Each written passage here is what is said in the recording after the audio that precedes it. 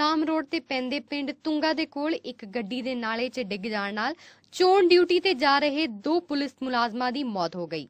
ਦੱਸਿਆ ਜਾ ਰਿਹਾ ਹੈ ਕਿ ਦੋਵੇਂ ਪੁਲਿਸ ਮੁਲਾਜ਼ਮ ਹਾਲ ਹੀ 'ਚ ਪੁਲਿਸ ਕਾਂਸਟੇਬਲ ਦੇ ਤੌਰ ਤੇ ਭਰਤੀ ਹੋਏ ਸਨ। ਇਸ ਹਾਦਸੇ ਬਾਰੇ ਜਦ ਤੱਕ ਪਿੰਡ ਵਾਸੀਆਂ ਨੂੰ ਪਤਾ ਚੱਲਿਆ, ਤਦ ਤੱਕ ਇਹਨਾਂ ਦੀ ਮੌਤ ਹੋ ਚੁੱਕੀ ਸੀ। ਐਕਸੀਡੈਂਟ ਤਕਰੀਬਨ ਹੋਇਆ ਤਾਂ ਰਾਤ ਨੂੰ ਜਿਹੜੇ ਪੁਲਿਸ ਵਾਲੇ ਦੱਸ ਕੇ ਗਏ ਆ ਵੀ ਡਿਊਟੀ ਤੋਂ ਆ ਕੇ 2:30 ਵਜੇ ਦੇ ਤਕਰੀਬਨ ਹੋਇਆ 2 ਵਜੇ ਉੱਥੋਂ ਉਹ ਡਿਊਟੀ ਤੋਂ ਆਏ।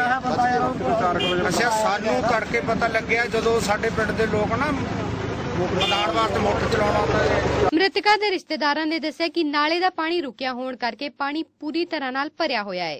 ਅਜਿਹਾ ਨਾ ਹੁੰਦਾ ਤਾਂ ਉਹਨਾਂ ਦੀ ਜਾਨ ਬਚ ਸਕਦੀ ਸੀ। ਨਾਲੇ ਦੇ ਵਿੱਚ ਪਾਣੀ ਕਾਫੀ ਸਾਰਾ ਖੜਾ ਸੀ। ਪਤਾ ਲੱਗਣ ਤੇ ਨਾਲ ਲੱਗਵੇਂ ਪਿੰਡਾਂ ਦੇ ਤੁੰਗਾਂ ਦੇ ਬੱਚਿਆਂ ਨੇ ਬੰਦਿਆਂ ਨੇ ਆ ਕੇ ਇਸ ਗੱਡੀ ਨੂੰ ਬਾਹਰ ਕੱਢਿਆ। ਤੇ ਜਦੋਂ ਤੱਕ ਗੱਡੀ ਨੂੰ ਬਾਹਰ ਕੱਢਿਆ ਤਾਂ ਦੋਵੇਂ ਮੁੰਡੇ ਐਕਸਪਾਇਰ ਕਰ ਚੁੱਕੇ ਸੀ ਕਿ ਇਸ ਜਗ੍ਹਾ ਤੋਂ ਅੱਧਾ ਕਿਲੋਮੀਟਰ ਅਗਲੇ ਪਾਸੇ ਨਵਾਂ ਪੁਲ ਬਣਿਆ ਸੀ ਨਾਲੇ ਦੇ ਉੱਪਰ।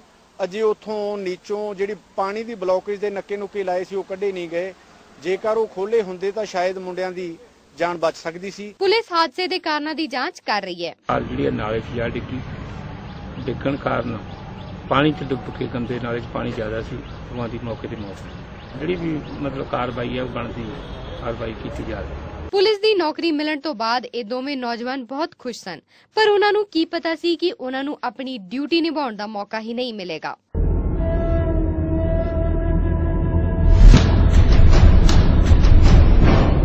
ਸੰਗਰੂਰ ਸੁਨਾਮ ਰੋਡ ਤੇ ਪੈਂਦੇ ਪਿੰਡ ਤੁੰਗਾ ਦੇ ਕੋਲ ਇੱਕ ਗੱਡੀ ਦੇ ਨਾਲੇ 'ਚ ਡਿੱਗ ਜਾਣ ਨਾਲ ਚੋਣ ਡਿਊਟੀ ਤੇ ਜਾ ਰਹੇ ਦੋ ਪੁਲਿਸ ਮੁਲਾਜ਼ਮਾਂ ਦੀ ਮੌਤ ਹੋ ਗਈ। ਦੱਸਿਆ ਜਾ ਰਿਹਾ ਹੈ ਕਿ ਦੋਵੇਂ ਪੁਲਿਸ ਮੁਲਾਜ਼ਮ ਹਾਲ ਹੀ 'ਚ ਪੁਲਿਸ ਕਾਂਸਟੇਬਲ ਦੇ ਤੌਰ ਤੇ ਭਰਤੀ ਹੋਏ ਸਨ। ਇਸ ਹਾਦਸੇ ਬਾਰੇ ਜਦ ਤੱਕ ਪਿੰਡ ਵਾਸੀਆਂ ਨੂੰ ਪਤਾ ਚੱਲਿਆ ਤਦ ਤੱਕ ਇਹਨਾਂ ਦੀ ਮੌਤ ਹੋ ਚੁੱਕੀ ਸੀ। ਐਕਸੀਡੈਂਟ ਤਕਰੀਬਨ ਹੋਇਆ ਤਾਂ ਰਾਤ ਨੂੰ ਜਿਹੜੇ ਪੁਲਿਸ ਵਾਲੇ ਦੱਸ ਕੇ ਗਏ ਆ ਵੀ ਡਿਊਟੀ ਤੋਂ ਆ ਕੇ 2:30 ਵਜੇ। ਦੇ ਤਕਰੀਬਨ ਹੋਇਆ 2 ਵਜੇ ਉੱਥੋਂ ਉਹ ਡਿਊਟੀ ਤੋਂ ਆਏ। ਅੱਛਾ ਸਾਨੂੰ ਤੜਕੇ ਪਤਾ ਲੱਗਿਆ ਜਦੋਂ ਸਾਡੇ ਪਿੰਡ ਦੇ ਲੋਕ ਨਾ ਮੈਦਾਨ ਵਾਸਤੇ ਮੋਟਰ ਚਲਾਉਣ ਆਉਂਦੇ ਮ੍ਰਿਤਕਾਂ ਦੇ ਰਿਸ਼ਤੇਦਾਰਾਂ ਨੇ ਦੱਸਿਆ ਕਿ ਨਾਲੇ ਦਾ ਪਾਣੀ ਰੁਕਿਆ ਹੋਣ ਕਰਕੇ ਪਾਣੀ ਪੂਰੀ ਤਰ੍ਹਾਂ ਨਾਲ ਭਰਿਆ ਹੋਇਆ ਹੈ। ਅਜਿਹਾ ਨਾ ਹੁੰਦਾ ਤਾਂ ਉਹਨਾਂ ਦੀ ਜਾਨ ਬਚ ਸਕਦੀ ਸੀ। ਨਾਲੇ ਦੇ ਵਿੱਚ ਪਾਣੀ ਕਾਫੀ ਸਾਰਾ ਖੜਾ ਸੀ। ਪਤਾ ਲੱਗਣ ਤੇ ਨਾਲ ਲੱਗਵੇਂ ਪਿੰਡਾਂ ਦੇ ਤੁੰਗਾਂ ਦੇ ਬੱਚਿਆਂ ਨੇ ਬੰਦਿਆਂ ਨੇ ਆ ਕੇ ਇਸ ਗੱਡੀ ਨੂੰ ਬਾਹਰ ਕੱਢਿਆ ਤੇ ਜਦੋਂ ਤੱਕ ਗੱਡੀ ਨੂੰ ਬਾਹਰ ਕੱਢਿਆ ਤਾਂ